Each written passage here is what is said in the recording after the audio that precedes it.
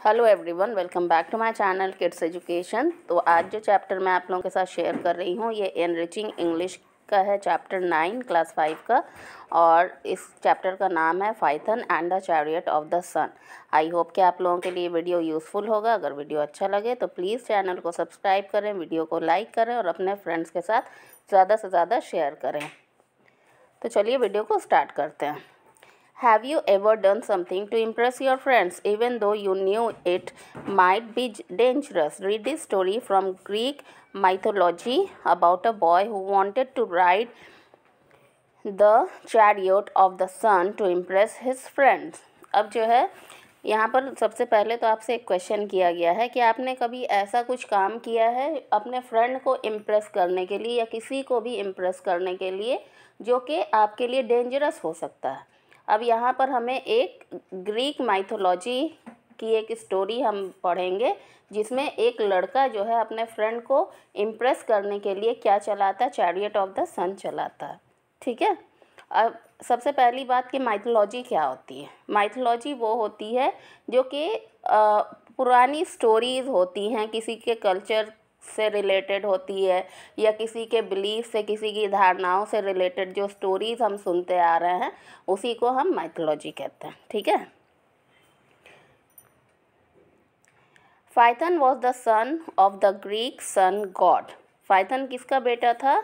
Greek sun God का बेटा था, जिसका नाम था Helios every day Helios brought the sun up on his fiery chariot और फाइथन जो है, वो सन गॉड का बेटा था जिसका नाम था हीलियस। और हीलियस का हर दिन काम क्या था कि वो सूरज को उगाता था अपने चैरियट के थ्रू अपने जो चैरियट यहाँ पर क्या है जो घोड़ा गाड़ी है है ना? पीछे जो आ, उसको चला आगे घोड़े लगे हुए हैं और पीछे जो कार्ट लगा हुआ है that is called chariot Phaethon was very proud of his father ठीक है? फाइथन को बहुत ही अच्छा लगता था। अपने सन को ये करता हुआ देख के। तो फाइथन ने कहा father you bring the sun up every day. I want to be just like you. Phaethon को बहुत अच्छा लगता था। उसने कहा कि पापा आप जो है डेली सन को ऊपर लाते हैं। हम भी आपके साथ आ, हम भी आपकी तरह बनना चाहते हैं।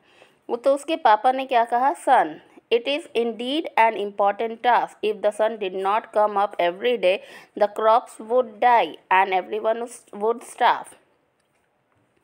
तो उसके पापा ने कहा कि हाँ बेटा ये बहुत ही इंपॉर्टेंट काम है।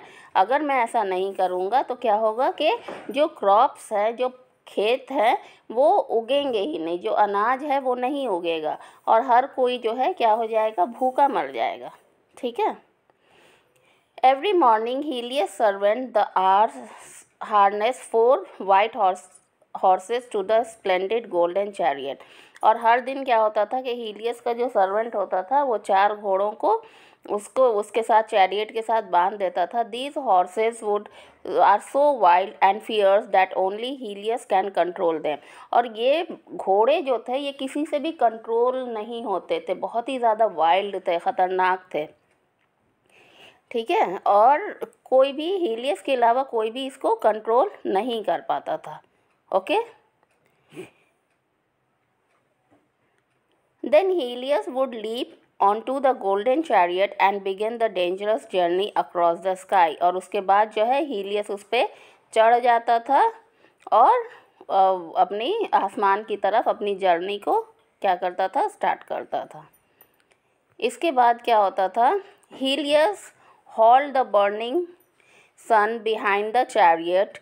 He reached every corner of the earth to bring light and warmth. It made the uh, gross and help people go about their daily life अब वो जो है चैरियट के थ्रू अपने सन सन को जो है अर्थ के हर हिस्से में ले जाता था, ताकि जो है हर जगह क्या मिल सके? रोशनी मिल सके और गर्मी मिल सके। क्रॉप्स जो है वो ग्रो हो सके और पीपल जो है लोग अपने डेली काम के लिए निकल सकें। है ना? To close the day, he took the sun out of sight every evening and gave it time to rekindle. rekindle. Then he then returned home weary but content. उसके बाद क्या होता था कि वो आ, हर शाम को क्या होता था कि उसको आ, सूरज को जो है सबकी आँखों से नज़रों से क्या कर देता था ओझल कर देता था नज़रों से हटा देता था और उसको टाइम देता था ताकि वो अपने आप को और ज़्यादा ताकत दे सके। कौन ताकत दे सके? सूरज और ज़्यादा अपने आप को, अपनी गर्मी को और ज़्यादा बढ़ा सके। मतलब कि अपने आप को फिर से रिपेयर कर सके। ठीक है? और उसके बाद जो है हीलियस घर वापस आ जाता था। बहुत ही थका हुआ, लेकिन सेटिस्फाई रहता था कि हमने अपना काम कर दिया है। Phaethon boasted about his father to his and everyone else who would listen और जो है फाइथन जो है, इस तरह की कहानी जो है अपने दोस्तों को सुनाता था और बाकी लोगों को सुनाया करता था। One day my father will let me drive his chariot look at how expertly he guides the he guides the horses through the sky I will be as good as drive good a driver as him तो वो सब दोस्तों को अपनी कहानियाँ सुनाता रहता था कि जैसे मेरे पापा हैं, एक दिन हम भी उसी तरह से रहेंगे। और क्या होगा कि उसी तरह से उस चैरियट को हम चलाएँगे और बहुत ही अच्छे ड्राइवर बनेंगे जैसे कि मेरे पापा हैं। Phaethon wanted to prove his friends that his father trusted him he pleaded before his father every day to be allowed to drive the chariot और फ़ायदन को जो है अपने दोस्तों को दिखाना था कि हम जो है ऐसा काम कर सकते हैं। तो डेली वो अपने पापा से रिक्वेस्ट करता था कि वो उसको अलाउ कर दें चैरियट को चलाने के लिए। Father I beg you to trust me I promise that I can handle the horses without getting burned और वो कहता था कि, फ़ादर, हम आपसे भीख मांगते हैं, आप भरोसा करिए कि हम जो है, वो हॉर्सेस को हैंडल कर सकते हैं और जलेंगे भी। तो जब जो पाइथन था तो वो जब डेली जब अपने पापा से रिक्वेस्ट करता था तो उसके पापा ने क्या कहा, ओ son you will not listen to me तो उसने कहा कि, लड़के, बेटे, तुम मेरी बात नहीं सुनोगे। You can take the chariot tomorrow but remember there are dangers steer the horses with a strong hand to not go too high और टू लो तो उसने बताया कि, ठीक है चैरियट तुम ले जा सकते हो, लेकिन याद रखना, बहुत सारे ख़तरे हैं और घोड़ों को बहुत ही ज़्यादा मजबूती से पकड़ना और ज़्यादा ऊँचा, ऊंचाई पे भी ना जाना और ज़्यादा नीचे भी ना जाना। ठीक है? But Phaethon was overconfident and stubborn. The next morning he climbed the chariot as soon as he as soon as he woke the reins in his hand the horses reared and took off. अब जो है, लेकिन Python क्या था, उसको बहुत ज़्यादा over confidence था कि हम तो ये काम कर ही लेंगे और बहुत ही ज़्यादा ज़िद्दी भी था। दूसरी सुबह वो सीधे जो है, अपने चैरियट पे चढ़ गया और जैसे ही उसने घोड़ों की लगाम हाथ में पकड़ी घोड़े जो है बहुत ही तेज़ी, क्योंकि वो बहुत ही ज़्यादा मतलब फियर्स घोड़े थे, बहुत ही ज़्यादा वाइल्ड थे। बहुत ही ज़्यादा तेज़ दौड़ते थे, उनको कंट्रोल करना बहुत मुश्किल होता था और घोड़े आगे बढ़ गए। I will show everyone that I can drive the chariot और फाइतन ने क्या कहा कि हम सबको दिखा देंगे कि हम जो है चैरियट को चला सकते हैं।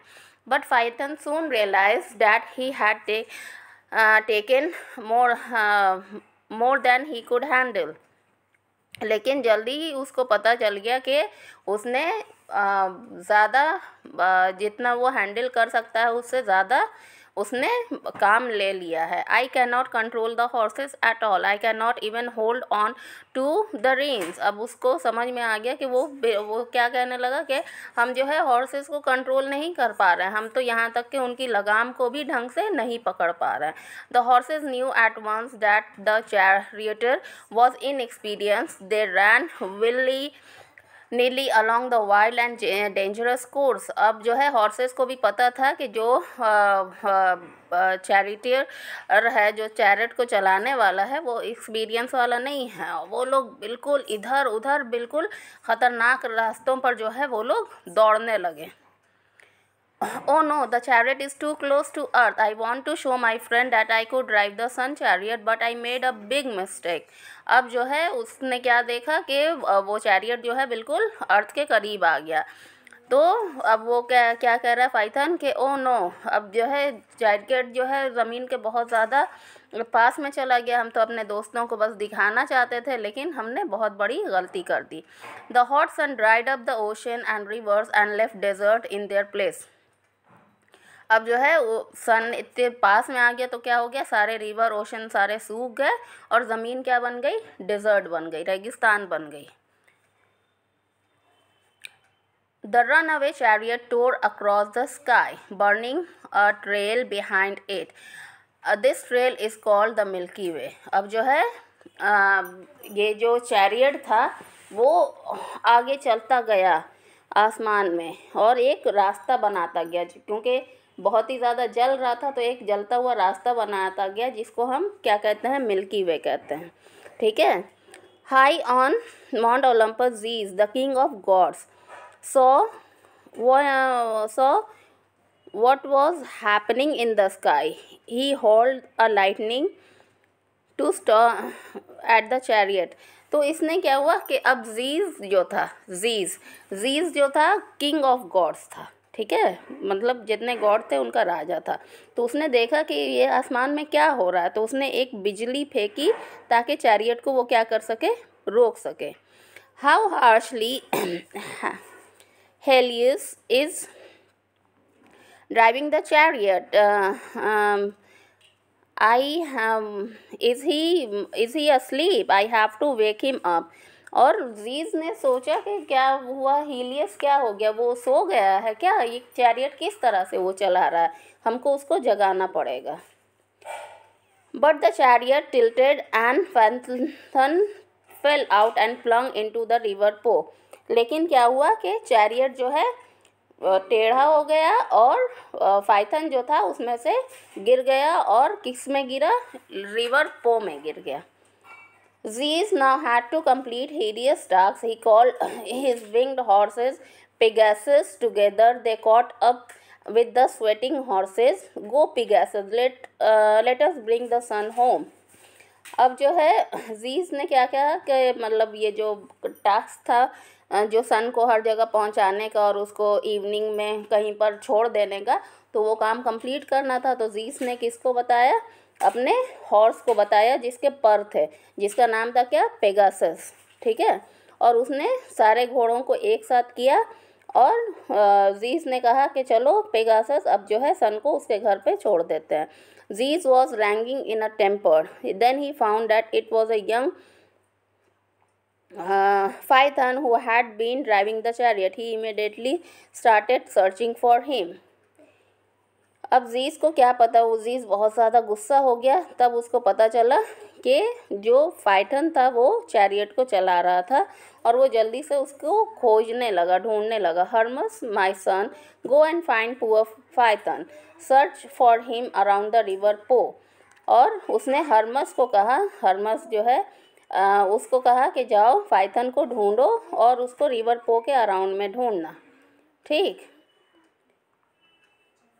Hermes could not find him no one saw him ever again perhaps he had survived but was hiding a shame perhaps he had died लेकिन हर्मस ने भी उसको ढूंढा, लेकिन किसी ने उसको फिर कभी पाइथन को देखा नहीं।